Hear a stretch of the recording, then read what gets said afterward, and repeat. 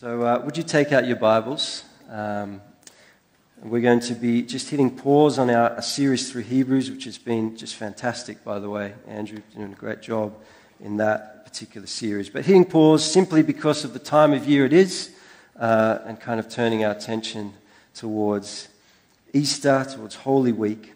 So, we're going to be heading to Matthew chapter 21 this morning. And while you turn there, I might pray. Father, thank you for the ways that you've been at work by your Spirit already this morning in our worship as we've uh, uh, joined in communion together. And Lord, I thank you for this privilege, Lord, of, of opening up your word now. And I ask, Holy Spirit, that you would come, that you would breathe life to the words that I speak, that your word would indeed come alive in our hearts today, that you help us to see things perhaps even that we've not seen before, that you would give us ears to hear and eyes to see, Lord God. Would you be honored in all that we say and do this morning?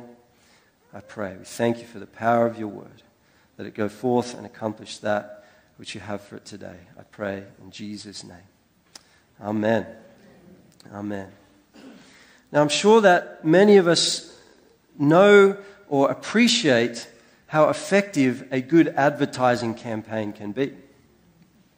Perhaps you've seen, you know, ads on TV or a billboard or something, and you, you find yourself kind of humming along with the jingle or quoting a particular ad or something like that. You know that it's been effective when that happens.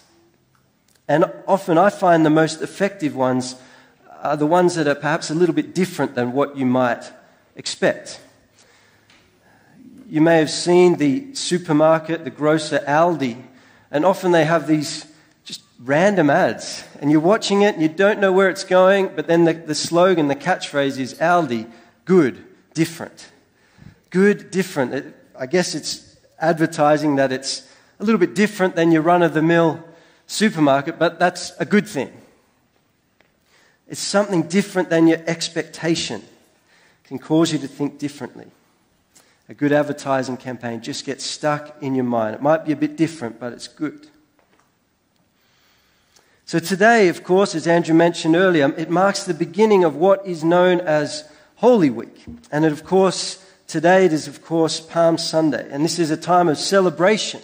It's a time of triumph, you know, when we remember the triumphal entry of Jesus into Jerusalem. It's a good thing for us to celebrate, and it would have been an amazing a spectacle, an amazing event to be part of if we think back to the account that we're about to read. But I want to put to us this morning that yes, it's a wonderful triumph and proclamation, but perhaps a little bit different than certainly what they, the people back then, may have expected. And maybe a little bit different for us this morning in terms of what we can see and take out of it. And I pray that this would be a different kind of Holy Week for us.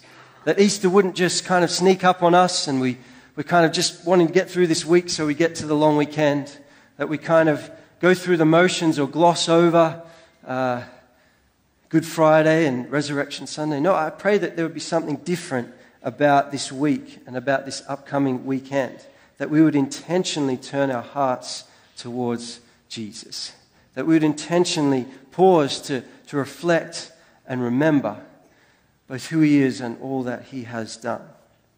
And so this year, we've, we've thought of doing something a little bit different in the lead up to Easter. And uh, we've endeavored to get some thoughts together for a little bit of a devotional to just help us as a church focus our hearts, be intentional as we head towards Good Friday, Resurrection Sunday. So, for those that may be interested, uh, keep your eye out on, the, on your inbox. We'll be aiming to send one out each evening throughout this week with just a thought and a scripture and a focus for the day, which I think is something good and important and significant about just, just being intentional in that space in the lead up to Easter. So keep your eye out for that. If you've subscribed to the newsletter, that'll be coming out during the week. If it doesn't, just or you don't receive it, you can get in touch uh, with the office or sign up to the, to, to the newsletter. Let's read together out of Matthew chapter 21, verse 1. Now, when they drew near to Jerusalem and came to Bethphage to the Mount of Olives, then Jesus sent two disciples, saying to them, Go into the village in front of you. And immediately you will find a donkey tied and a colt with her. Untie them and bring them to me. And if anyone says anything to you, you shall say, The Lord needs them. And he will send them at once. This took place to fulfill what was spoken by the prophet, saying, Say to the daughter of Zion, Behold, your king is coming to you, humble and mounted on a donkey, on a colt, the foal of a beast of burden. The disciples went and did as Jesus had directed them. They brought the donkey and the colt and put on them their cloaks, and he sat on them. Most of the crowd spread their cloaks on the road, and others cut branches from the trees and spread them on the road. And the crowds that went before him and that followed him were shouting, Hosanna to the Son of David. Blessed is he who comes in the name of the Lord. Hosanna in the highest. And when he entered Jerusalem, the whole city was stirred up, saying, Who is this? And the crowd said, This is the prophet Jesus from Nazareth of Galilee. And Jesus entered the temple and drove out all who sold and bought in the temple, and he overturned the tables of the money changers and the seats of those who sold pigeons. He said to them, It is written, My house shall be called a house of prayer, but you have made it a den of robbers. And the blind and the lame came to him in the temple, and he healed them. But when the chief priests and the scribes saw the wonderful things that he did, and the children crying out in the temple, Hosanna to the Son of David, they were indignant and they said to him, Do you hear what these are saying? And Jesus said to them, Yes. Have you never read, Out of the mouth of infants and nursing babies you have prepared praise? And leaving them, he went out of the city to Bethany and lodged there. This is the word of the Lord for us this morning.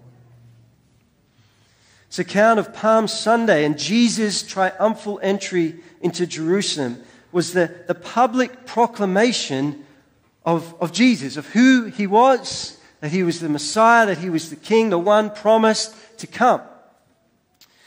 And I, I want to just give a little bit of background and context here because it's important for us to, to perhaps consider or grasp some things this morning.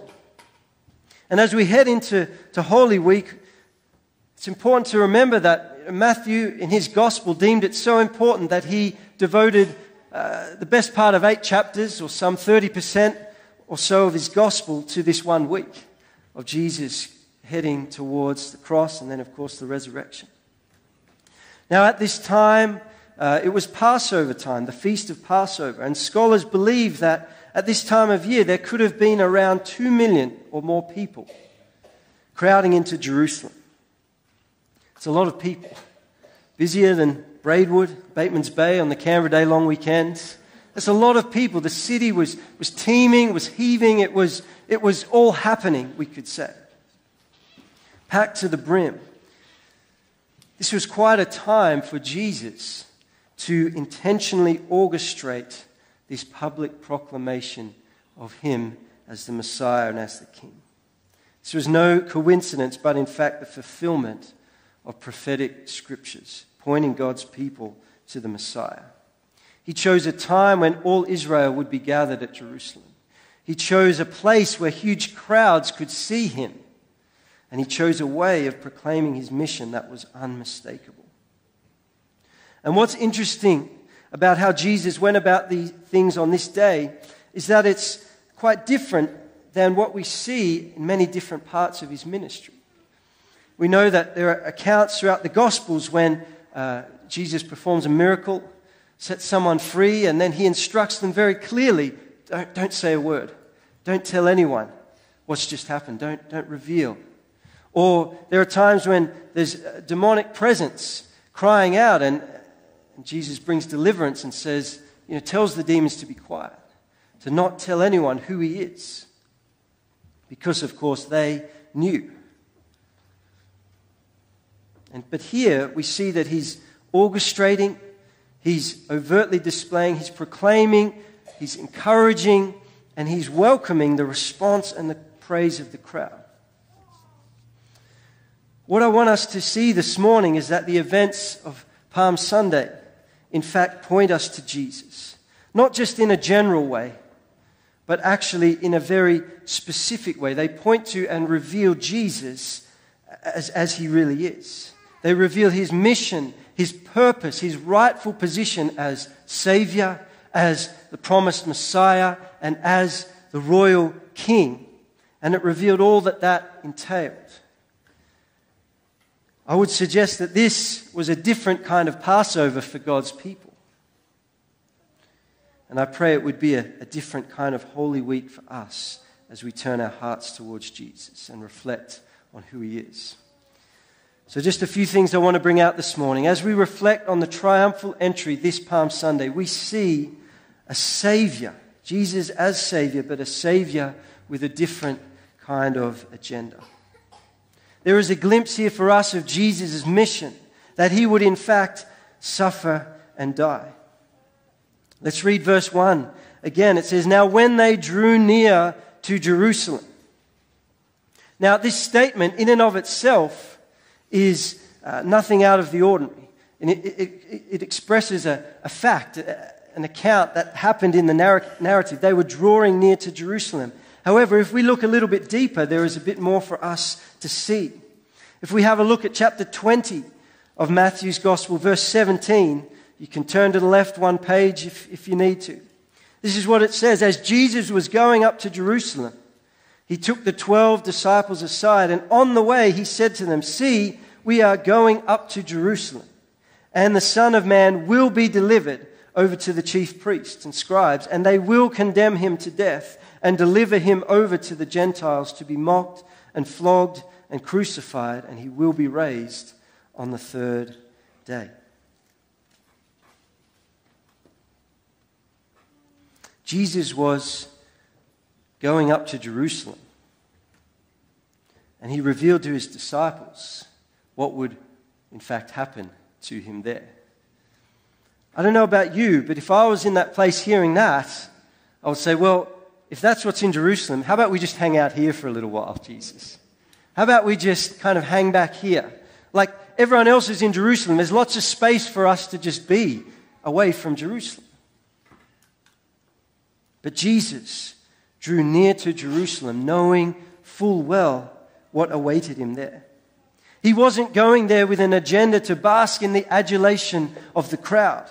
He knew that setting foot in that city would lead to a definitive outcome being unjustly arrested, tried, mocked, flogged, and crucified. He didn't shrink back from that, but rather he drew near. He leaned in. With this being the moment that Jesus was publicly announced and proclaimed as the Messiah, then part of that proclamation of who the Messiah would be as we read in some of the prophetic scriptures, Isaiah and other places, we, we know that part of that proclamation is that he would be the suffering servant, the one who would give his life.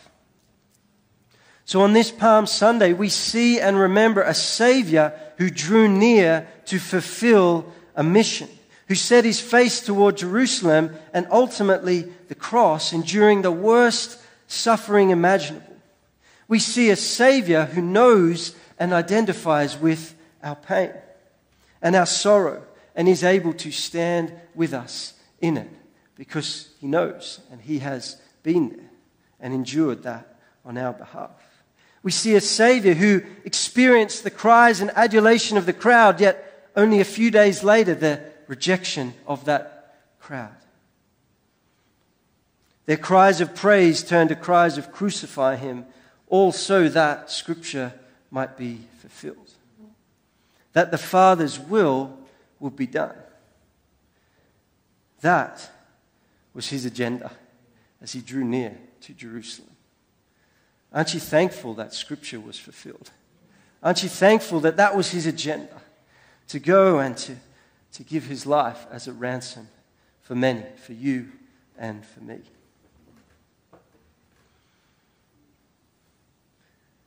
As the events of this week played out, it would have appeared as though things went from triumph on this day to tragedy And certainly Jesus' death on the cross to the disciples and his followers would have felt anything but a triumph.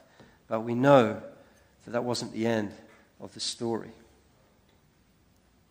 His agenda and his mission was indeed to save and rescue and redeem, to deliver God's people, but in a way that perhaps they didn't expect.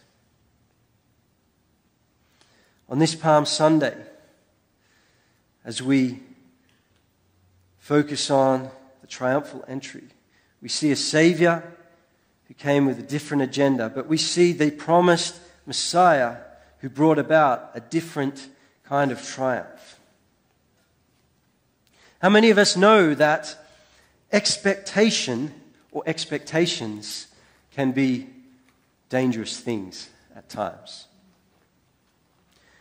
Now, I, I've tended to think of expectancy and expectations as two different things.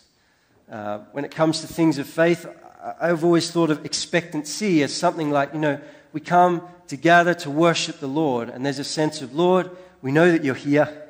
We know that you're good. We know that you, you want to move and work in our hearts and lives, and we know that you want to be God in this place. And we just say, Lord, come and have your way. We know that you want to do whatever it is that you want to do. We don't really know what that looks like, but there's that sense of expectancy, right? Whereas expectation, I've always thought of it as more like, okay, Lord, we want you to move, and this is how. The third song in worship, we want you to just kind of break out a little bit in some free. And then when the preaching of the word starts, this, that's expectation. There's like a preconceived notion of what something should look like. I believe it was Shakespeare who said that expectation is the root of all heartache. And there's certainly a, uh, evidence and, and uh, scientific evidence of this that, that expectations are a heightened source of stress and conflict, particularly unmet or unfulfilled expectations. Recently, in our house, our second son had, a, had his birthday.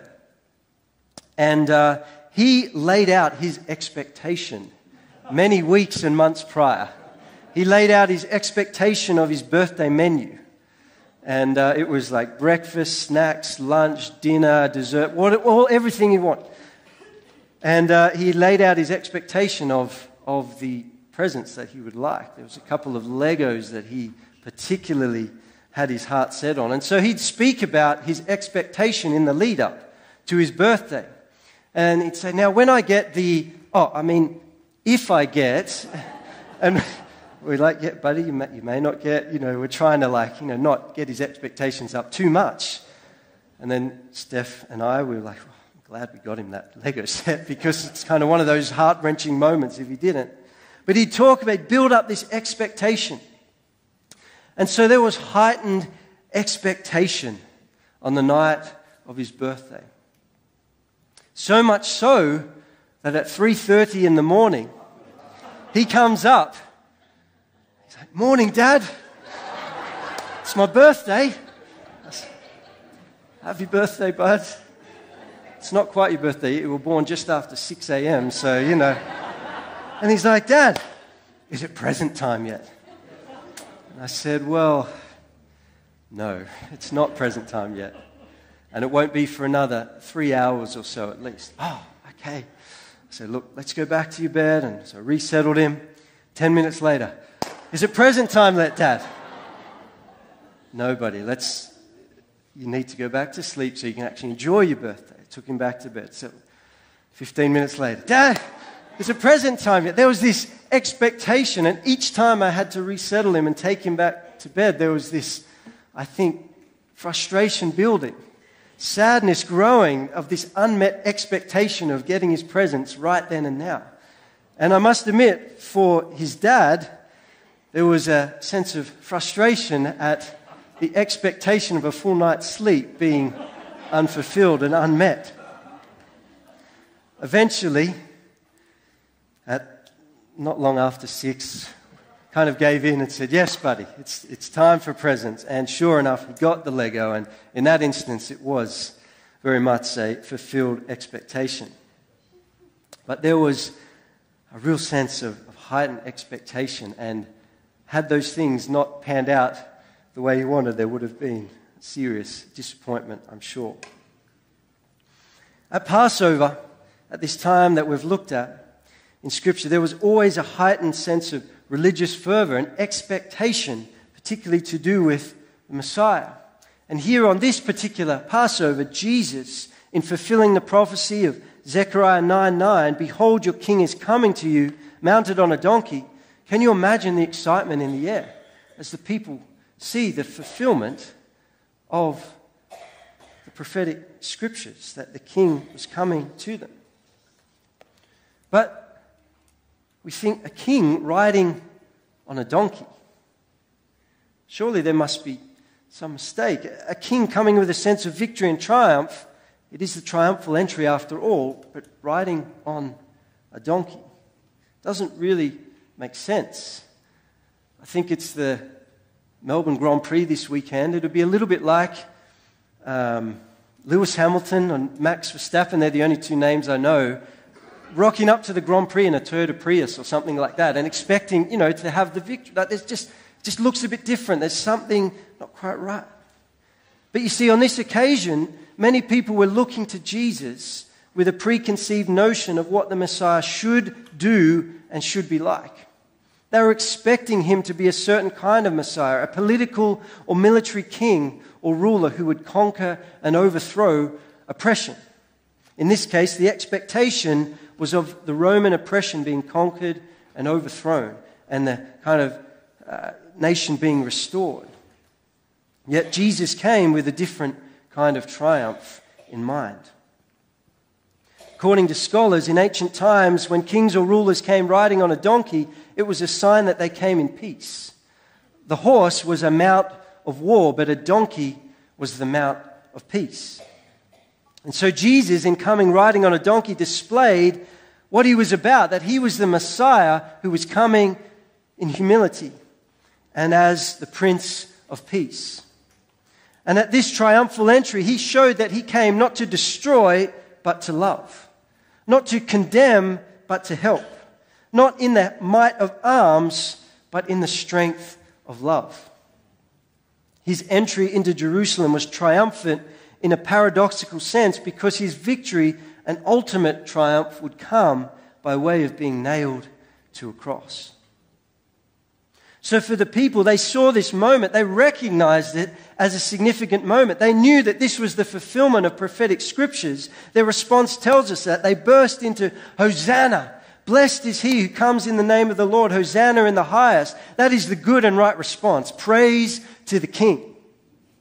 And this word Hosanna is a Hebrew expression of praise, and it's actually out of Psalm 118 and as part of the Passover feast, the Jewish people would actually sing the Hallel from Psalm 113 to Psalm 118. But this particular psalm, these verses that are quoted here, is messianic in nature, so they are in fact recognizing Jesus as the Messiah in their response.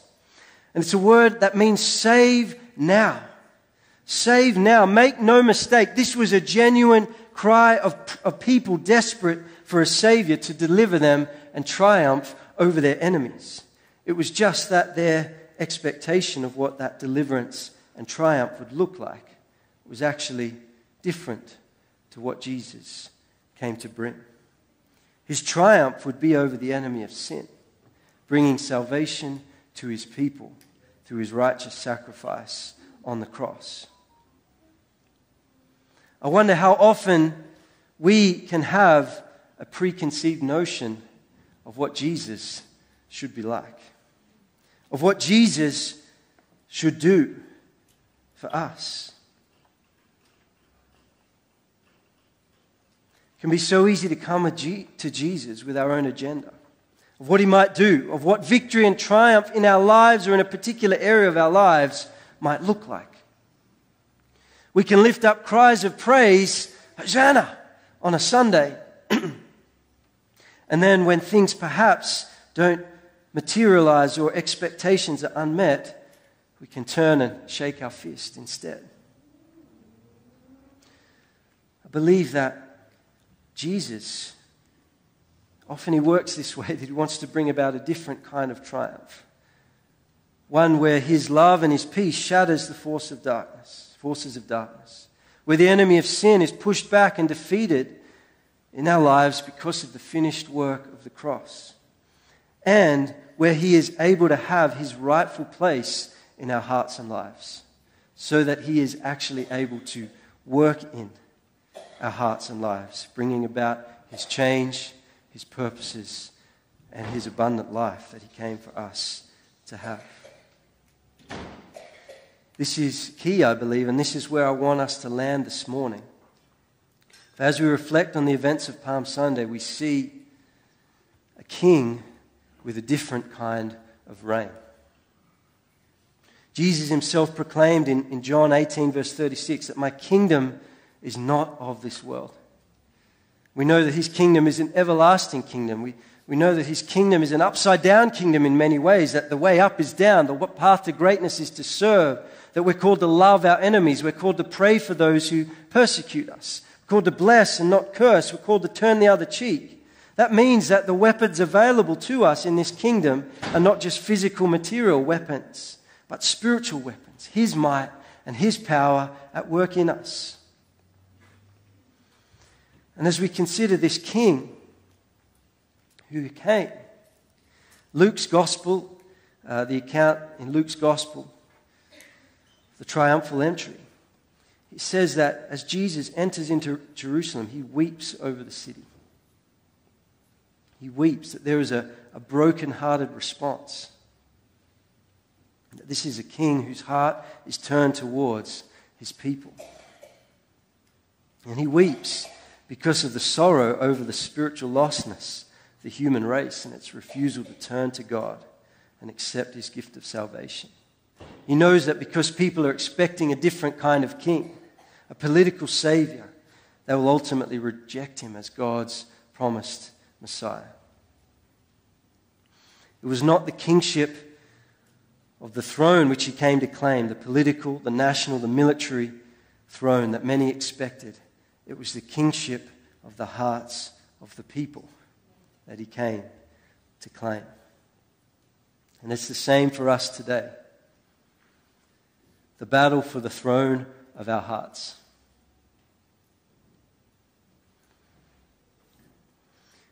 Jesus goes on to clear the temple here. And I'll, uh, I'll finish with this. He drove out all who sold and bought in the temple. He overturned the tables of the money changers. Basically, these things had been set up as a hindrance, really, to people meeting with God. They'd set up that people could bring an offering, but it had to be exchanged into the temple currency. And of course, the exchange rate was exorbitant, it was, it was robbing the people. Or they'd come and bring an offering, but it had to be uh, exchanged into a temple sanctioned offering. And so people were just being priced out of, like they, they couldn't afford to bring an offering. So Jesus comes in and he turns over the tables and says, No, get these hindrances to people actually meeting with God, encountering God, get them out of the way. It was the kingship of the hearts of the people that he desired. And you know, there are times, perhaps in our own lives, where the Lord wants to come and maybe turn over some of those tables, those things that are in our own hearts and lives that can be hindrances to actually encountering the Lord and actually knowing Him, actually walking with Him. And it's not because He's harsh or anything like that, it's because He's a humble Savior and desires relationship, desires nothing to get in the way, desires that nothing would be enthroned as king in our hearts except for him. His appeal was and is to mankind to open their hearts to him. For he is a king who must be welcomed and welcomed as he truly is. So this morning, maybe we could get the worship team to come on up. Will we welcome this king? Will we welcome this king. with honor and with reverence. Or, like the Pharisees, the scribes, the chief priests, will we harden our hearts? Will we welcome His Lordship, His reign, what He wants to do, even if it looks a little bit different than our expectation? As we begin Holy Week, as we head towards Easter, may it be different than the run of the mill week, but in a good way. May we remember the Savior who came with a different agenda, one of suffering and surrender that ultimately led to salvation. May we remember a Messiah who came to bring about a different kind of triumph, one outworked through love, which in fact brought about the greatest victory at the cross. May we remember a king who reigns with a different kind of reign. One established in our hearts and in our lives. We're going to finish with a, just a song of worship, an opportunity to respond to the Lord this morning. I'd invite the prayer team just to come forward at this point as well. Perhaps you might like to stand.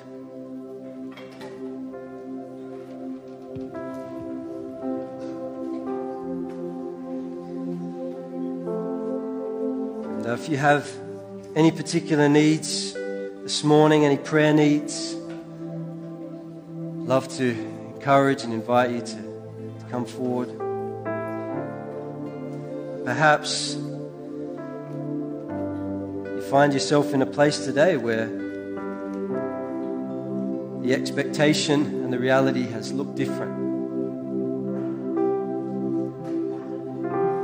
Let me encourage you, invite you to come and, receive prayer, receive encouragement. To look to the Lord, to look to the one who came to bring a, different kind of triumph.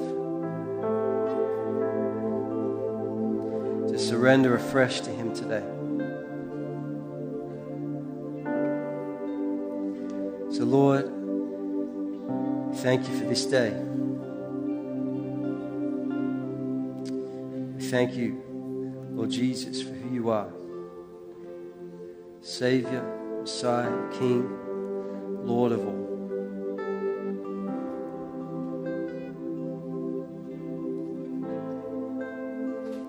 We thank you that you set your heart to do the Father's will. We thank you that the triumph that you accomplished and brought about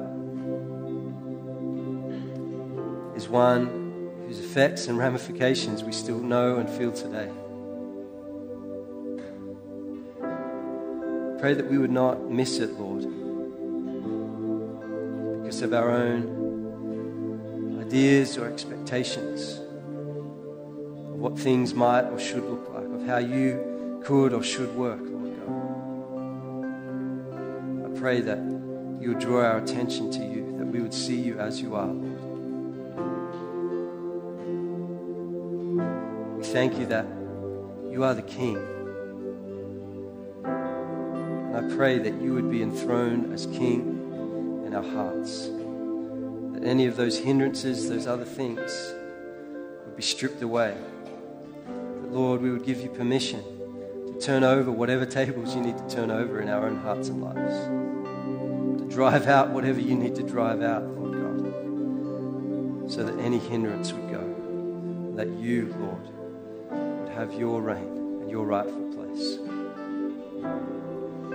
Pray that this, this week ahead, Lord, as we head towards Easter, would be a different kind of Holy Week, Lord. We wouldn't just kind of race through or go through the motions, but Lord, there would be a sense for us of just turning our hearts and our attention towards you, Lord. Remembering you and the price that you blessing that flows from that to each of us, I pray, this week. We love you, we honor you. We thank you that you have been here in our midst this morning. It's in your name we pray.